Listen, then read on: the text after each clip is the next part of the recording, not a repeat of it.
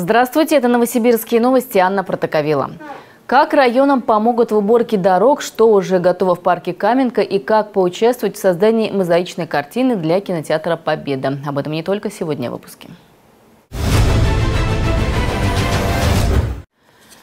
На закупку и ремонт уборочных машин в районах выделят дополнительные средства из областного бюджета. Об этом заявил Андрей Травников. Сегодня он побывал в муниципальном учреждении «Дежинка», где осмотрел коммунальную технику. Многие машины для уборки и ремонта дорог уже отслужили свой срок. На обновление парка денег из муниципального бюджета не хватает. МКУ «Держинка» было сформировано в 2013 году. Занимались э, только заключением контракта с, с подрядными организациями, контролем и работы своими силами ничего не делали. В 2021 году, 1 января, пришли на эту территорию от ДО-1 технику, э, участок Дзержинского района города Новосибирска. И, соответственно, мы взяли на себя вторую, третью, четвертую, пятую категорию. Все, сбор случайного мусора, там, частный сектор, уборка зеленых э, насаждений и так далее. У нас на сегодняшний день в обслуживании где-то 1670 э, квадратных метров. Субподрядные организации мы привлекаем в основном на вывоз снега и а, отыгрывали фронтальный погрузчик мы на частный сектор. У нас очень много, у нас порядка 8 тысяч.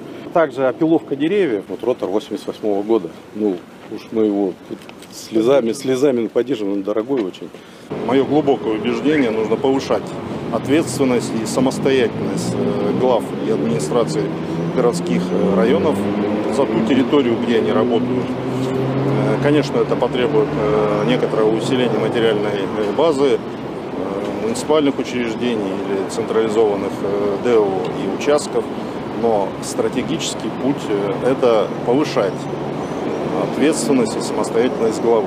Коллеги из мэрии меня поддержали, глава района, я видел, что он просто горячо поддерживает, работы не боится.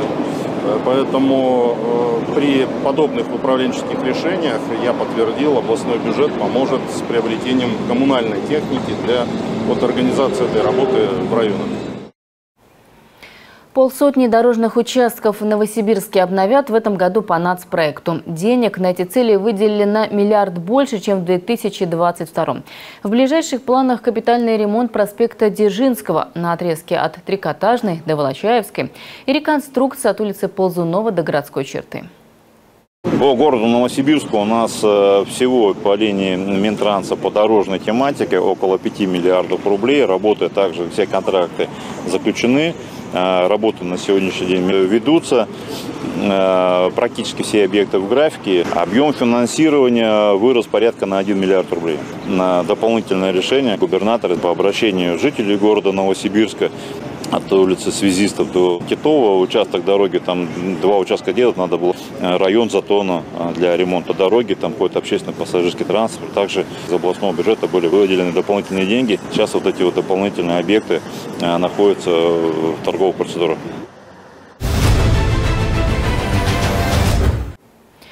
Первый этап обустройства парка Каменка в пойме одноименной реки завершат в октябре нынешнего года. Напомню, это будет первый затопляемый парк в России. Идею его создания предложили жители, которые активно участвовали не только в обсуждении концепции, но и в уборке территории перед началом работ. По некоторым экотропам парка уже можно прогуляться. Я сейчас нахожусь на берегу Каменки, речки, которая почти наполовину протекает внутри трубы. Оказалось, что многие горожане не знают, что есть ее открытая часть. По сути, этот проект парка – возвращение реки городу и горожанам. Здесь будет несколько смотровых площадок. Многие жители, которые э, живут здесь и жили здесь, э, были крайне удивлены, что здесь вот есть такая красота. Потому что, к сожалению, все здесь было закрыто э, синелистным тополем. И вот мы специально открыли такие удивительные э, места для того, чтобы, э, гуляя здесь по тропинкам, можно было подойти. То есть, с одной стороны, вот они, казалось бы, дома, и буквально через 100 метров вы попадаете в нашу такую сибирскую, натуральную природу. Здесь прекрасно живут уточки со своими детьми. Здесь а, прекрасные лягушки квакают, там прекрасно поют птицы, наши березовые рощи. То есть здесь иногда просто какая-то вот идиллия. Мне кажется, этого очень не хватает жителям города дышать свежим воздухом, получать такую экологическую энергию. В экопарке не будет твердых покрытий, только приподнятые дорожки в местах весеннего подтопления. По ним, не замочив ноги, можно будет легко дойти в любой уголок парка. Сейчас, когда река спокойна и не выходит из берегов, по этим экотропам могут легко прогуляться мамы, которые перевозят детей в колясках. Вот здесь вот у нас начинается дорожка, вот которая идет, как раз здесь очень много будет пешеходных, велоразличных дорожек. Вот уже установлены, а, видите, электрические столбы, здесь же видеонаблюдение будет. Здесь мы по проекту «Чистое небо» все делаем. То есть все закопано вниз, вот вы видите, вот такие вот траншеи, которые проводятся. Все идет у нас под землей. Парк доступен, э, можно заходить с двух сторон на него. А, Со стороны улицы Лежена и со стороны улицы Есенина. А, Можно зайти уже в парк. А, Мы заканчиваем два моста переходных. Они практически находятся на улице Лежена. В конце августа люди уже могут через мост переходить наш парк и прогуливаться. Там будет организована парковка. Мы ее тоже, я думаю, закончим в конце августа заасфальтируем. По поводу подъездных дорог э, решение принято. Тоже со стороны Лежена проводится ряд мероприятий по восстановлению дорожного покрытия. И будет новая дорога как раз к нашей стоянке. Это две парковочные зоны, по-моему, на тысячу мест. Это только, по-моему, одна наша большая парковка. Еще вторая, она чуть поменьше будет. Акценты сейчас на дороге и на стоянке. Приступаем к отделке пав- павильонов и заканчиваем дороги. Я думаю, к концу августа у нас будет уже все готово. Территорию парка условно разделили на две части – природную и историческую. Сейчас рабочие возводят павильон «Амбар», мельницу и визит-центр «Кирпичный завод». Впоследствии здесь горожане смогут отдохнуть, выпить кофе, пообедать. Все здания подрядчик обещает стилизовать под исторические, которые находились здесь почти век назад. После укуса клеща за медпомощью обратились почти 7 тысяч новосибирцев с начала эпидсезона. Это на 4,5% больше, чем в прошлом году. 34 человек подтвердили диагноз клещевой энцефалит. В 2022 зафиксировали 45 таких случаев. Наибольшее количество заболевших энцефалитом в Ленинском, Калининском и Октябрьском районах. На территории дачных обществ зарегистрировали почти 130 обращений с укусом клеща. Как напоминают в городском департаменте по соцполитике, прививки от клещевого энцефалита делают в поликлинике по месту жительства, работы или обучения. Снять клеща можно в травмпункте. Для детей до 18 лет экстренная серопрофилактика проводится бесплатно.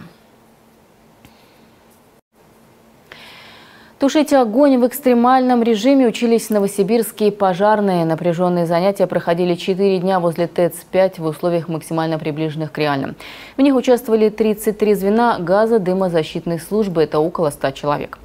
Испытание представляло собой полосу препятствий с макетами различных сооружений, от тоннелей и качающихся мостиков до эстакады на высоте почти в два этажа. Эту дистанцию проходили сквозь дым и огонь от горящих покрышек. Пожарные должны были продемонстрировать выносливость и умение работать в команде.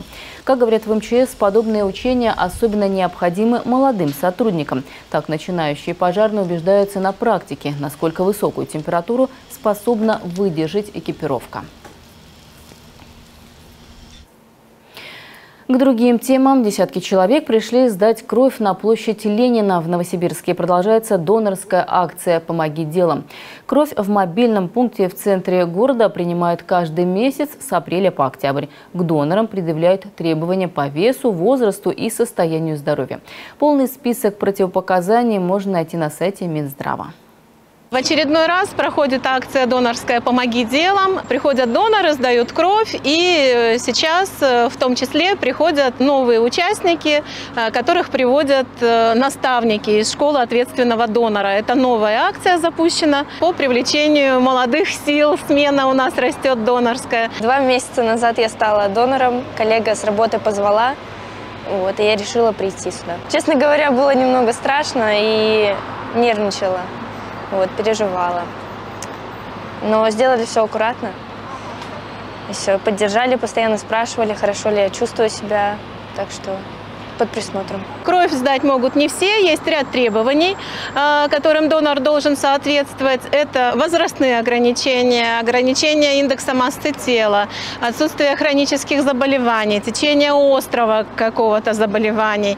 Есть э, ряд ограничений, например, э, недавняя сдача какой-то прививки. Например, вот лето сейчас от энцефалита многие прививаются, должен пройти какой-то срок. После татуажа нельзя 120 дней сдавать кровь. В благодарность донорам а, мы выдаем э, чупа-чупсы с QR-кодом. Бывает так, что, например, один-два донора, которые по записи зарегистрированы, а, не приходят, и у нас есть возможность несколько человек вот в эти промежуточки принять. Сегодня у нас плановых записано 69 человек, но а, еще время не вышло, процентов 60 уже доноров пришло, и вне графика еще есть люди дополнительные. Лучшие предприятия потребительского рынка наградили в мэрии накануне Дня торговли. Его отметят в эту субботу. Победителями конкурса стали 89 организаций торговли, общественного питания и бытового обслуживания.